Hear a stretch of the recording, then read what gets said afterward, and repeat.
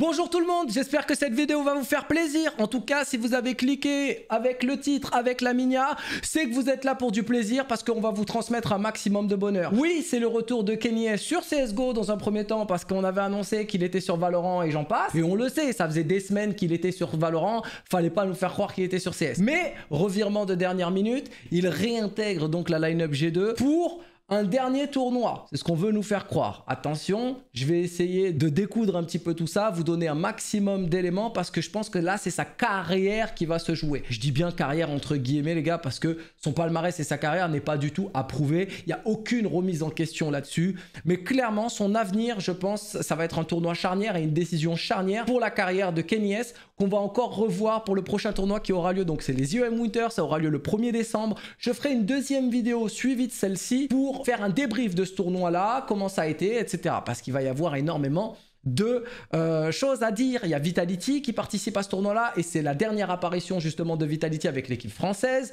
Il y a OG euh, par exemple. Euh, peut-être que ça vous intéresse pas, mais je pense que eux aussi leur avenir il est scellé. Il va y avoir des changements absolument drastiques sur, euh, ça. FaZe aussi, peut-être dernière apparition avec la line-up, parce que là, clairement, c'est la fin d'année. Il y a Liquid encore avec la line-up Shisha. Eux, c'est une honte à quel point les prestations sont mauvaises. Les Blasts, là, ils ont été absolument honteux. Ils n'ont pas mouillé le maillot. Ils avaient des têtes d'enterrement quand ils jouaient. C'était absolument ignoble à regarder. Et je trouvais ça un petit peu puéril de leur part. On a Fnatic aussi qui va faire son apparition avec la nouvelle line-up qui est en train de détruire tout le tiers 2. Hein, parce qu'ils ont fait plein de tournois tiers 2. Ils ont absolument été dominants. Ils n'ont pas droppé une seule map contre chacun de leurs adversaires. Donc Fnatic avec Alex, le franco-anglais, hein, je le rappelle, et le Smouya, le Smouya, le sniper très très chaud, bien sûr avec Mezi, Krims, Brolan. Enfin la line-up est, est, quand même assez intéressante, mais là ils vont s'affronter à du gros tiers 1 mondial. Donc j'attends de voir ça. Le retour de Tailou aussi, parce que Tailou, moi, ils m'ont très, euh, très fortement déçu pendant le Major. Donc on va voir Tailou aussi pendant cet événement. Sur la poule A, il y a G2 et Vitality, donc on pourrait très certainement avoir une confrontation franco-française entre G2 et Vitality, et ça, ça me ferait énormément plaisir. Concentrons-nous donc sur Kenny S. Mais avant ça, je vous fais le petit rappel qu'on a 546 subs sur ma chaîne Twitch.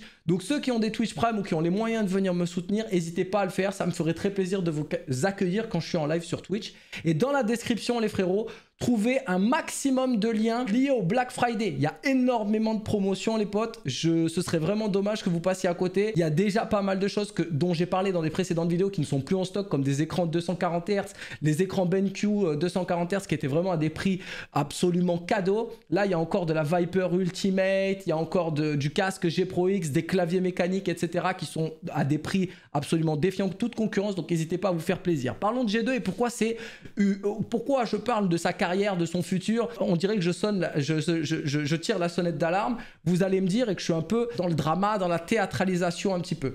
Mais c'est le cas. Parce qu'en fait, il avait fait le, choix de switcher sur Valorant. Et là, pour le coup, il rebrousse un petit peu chemin et il revient sur CSGO. Très certainement que le Major lui a redonné envie. Il a dû sentir les émotions. Il a dû sentir l'excitation un petit peu, la foule. Et il s'est dit, putain, j'ai envie de revivre ça, c'est sûr à 100%. Mais il faut savoir qu'il a été écarté au mois de février-mars de cette année, que ça fait 8-9 mois donc qu'il n'a plus joué compétitivement ou qu'il n'a plus eu l'occasion de jouer compétitivement, que les offres qu'il a dû avoir sur la table ne sont pas du calibre de ses ambitions qui voulait pas descendre trop bas non plus pour son ego. Il en a fait part pendant une interview extrêmement, extrêmement enrichissante de Zach Nani. Si vous l'avez pas vu, franchement, allez la regarder. C'est un Zach en roue libre avec Kenny qui est absolument phénoménal. L'interview est folle et très sincère de la part de Kenny. Il parle de son ego, il parle de sa prétention un petit peu, de la confiance qu'il a en lui et c'était super enrichissant. Concentrons-nous donc sur Kenny et sur le fait que je dise que ce soit une année charnière.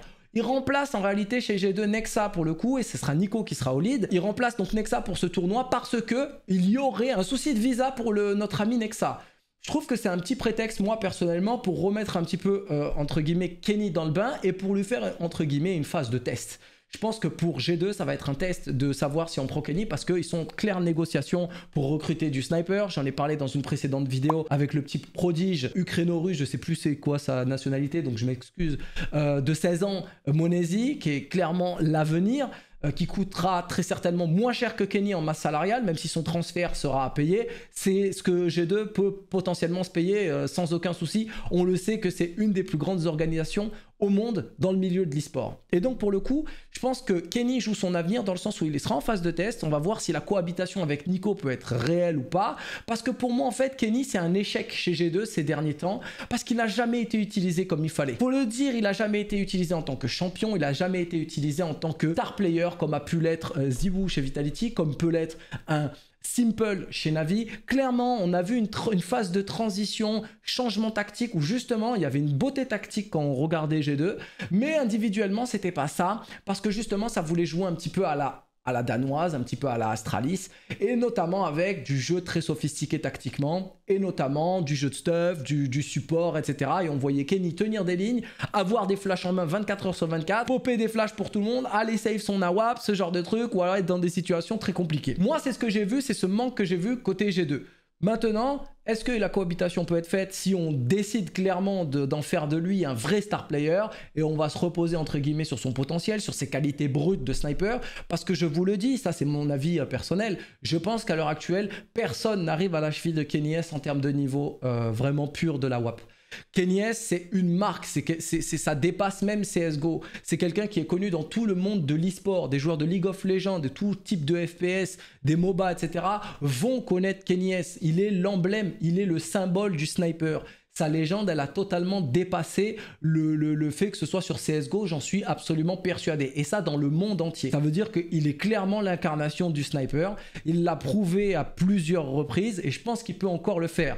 Le problème, c'est qu'il a pour moi jamais été utilisé ces derniers temps comme il se doit, mais il a ses torts aussi individuellement. Je le répète, il a ses torts. Il l'a assumé pendant l'interview justement avec Zach Nani, mais il a ses torts. Manque de travail, manque de rigueur, manque de discipline, manque également d'envie, hein, d'envie de, son ego, de satisfaire son ego, de se dire il y a un vrai challenge, il faut que j'aille me battre avec des gens. Il a eu une concurrence qu'il a mal prise, il n'a pas pris la concurrence pour euh, de, la concurrence positive, pour aller se tirer lui-même vers le haut et aller tabasser les concurrents, mais il a pris la concurrence en mode vas-y, je m'en bats les couilles, je reste sur mes acquis, de toute façon, ça suffit plus ou moins. Aujourd'hui, on sait très bien qu'il y a des snipers d'un très très très très très très bon niveau qui ont même plus d'efficacité, beaucoup plus de rendement qu'un Kenny S, qui coûte bien moins cher, mais qui n'ont pas le niveau de Kenny S.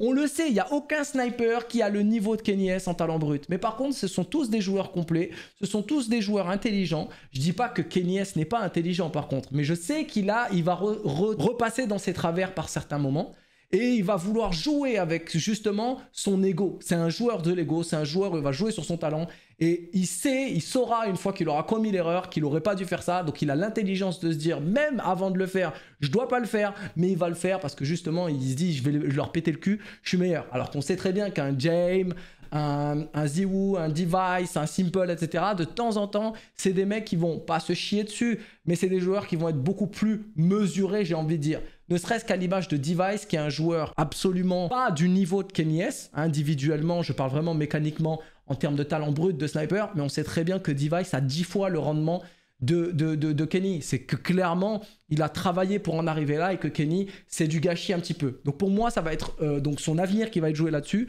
parce qu'il sera regardé. Ça va être une phase de test, je pense, pour G2 pour savoir si on continue avec lui ou pas. Et surtout, pour son avenir aussi sur CS. Il sera regardé. Est-ce que le mec, il est là, il va casser des culs?